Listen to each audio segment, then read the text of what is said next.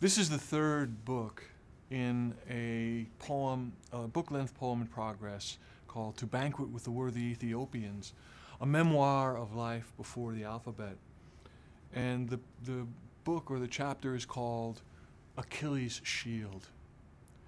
Now, the thing about Achilles' Shield, it's, it's really a remarkable uh, piece of technology forged by the lame god Hephaestus after Achilles' armor has been stripped from Achilles' best friend Patroclus and is now being worn by his adversary uh, Hector. So Hector has Achilles' old armor, and Achilles is naked.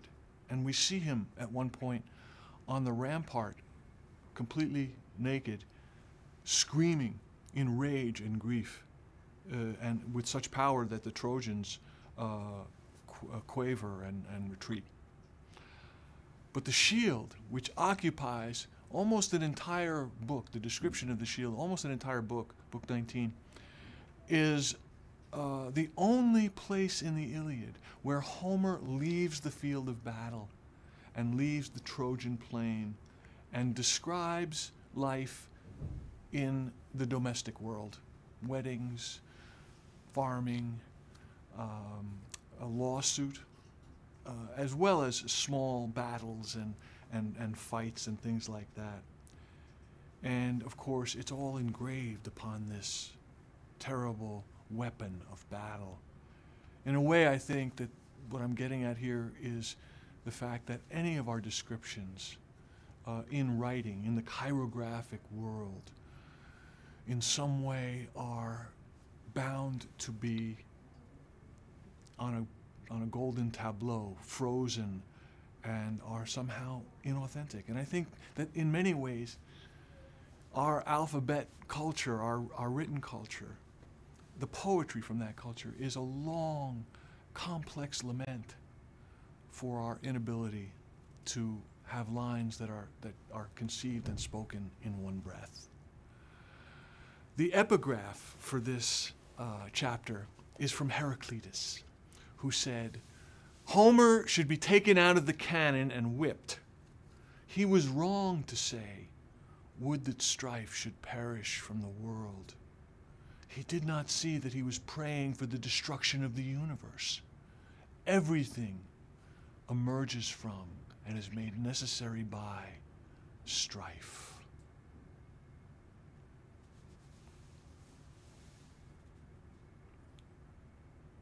When Homer's knife rives Heraclitus' heart, and strife finally perishes from the world, then the sea between the summer of 265 and the shelf where I secrete my list of shame will undulate, turn by dream tossed turn, in the belly of a room, a rippling house whose roof tree is a rocking, chanting child. I close my eyes. Back and forth, heels to palms, he glides, his flank ruined, alight with primal rondure. His song is ungrounded utterance, which I translate to amend the poet's prayer.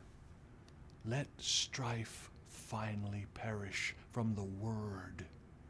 Let the alphabet be unstrung and the paragraphs of W.H.D. Rouse be dismantled. Let lines be birthed and spoken in one breath. Let us all be whole, be one. Let us all sail home. But in the silent office where I brood, paroled by Agamemnon, who unsheathed my heart and stitched in livid script, time proceeds under the tireless sun and the child's song, if he sings, cannot be heard, or heard can't be interpreted.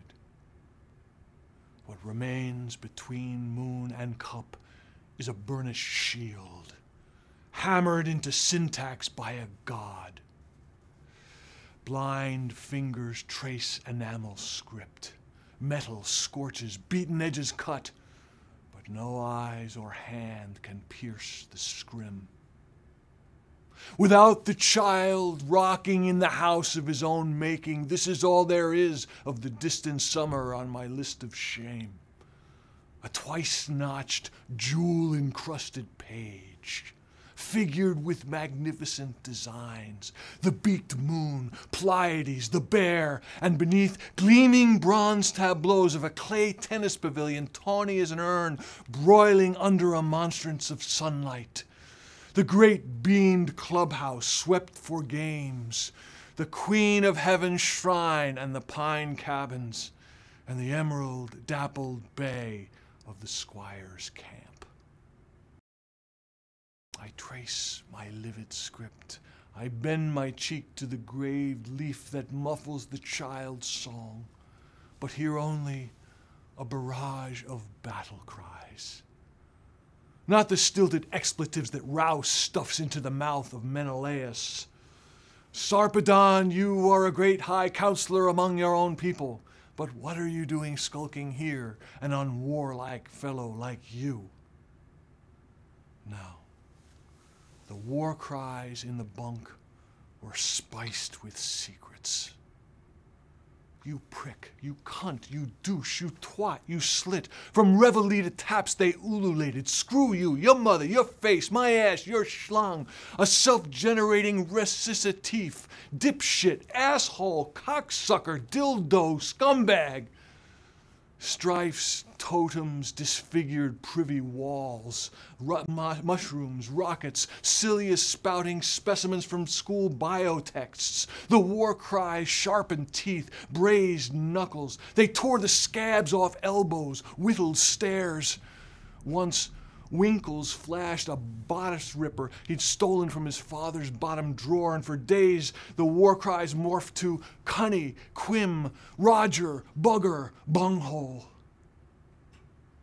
Embedded in the all encompassing shield, archived in each kick and slap and punch, in the cicada's fury and the shadow's leer, and the untimely palpitations of each heart Strife, a goddess, snarled her syllables. The fiercest war cry and the most taboo was the syllable of aegis bearing Zeus. It could be howled or muttered, hissed or gestured. It was capable of conjugation. It invoked divine or scatological. It signified, I cannot be touched. It meant, Escape this bag of skin. It said, I am a knife, you a sheath. It intimated, I will unveil death. The first I ever heard the aegis uttered, I was buried in Book Five, where swift Odysseus thrusts a spear into the buttocks of Pericles. The point pushes through, piercing the bladder. I raised my head and saw on the windy beach a boy's cheek ground into sand. His unveiled eye marbled, one lip oozed blood. It was Floss. Straddling his writhing belly was Anteater, expert at war cries. With his face crushed under Anteater's heel and one arm twisted hard behind his back, Floss would not cry uncle and instead spat out the aegis. In Book Five, the lethal syllable froze Odysseus in mid thrust. On the beach, Anteater ungripped and stepped away. I confess that although I voyaged to this beach from Queens, and although I practiced in the bathroom mirror, hip thrust and guffaw and snapping towel, and although I combed Rouse for hidden clues, I did not know exactly what the war cries cried for. As for the aegis syllable, I'd rifled the inventory of cognates. I knew it stemmed from German for to strike, but its true signification remained veiled. In Rouse, unveiled meant undone. There was Helen stripped to service shamed Paris, Hector hogtied, Thersites flogged, and the Queen of Heaven strappadoed from the moon. Throughout the squires of Columbus lamp camp, on walls and votive lamps, and around throats hung totems of unveiled, disfigured gods.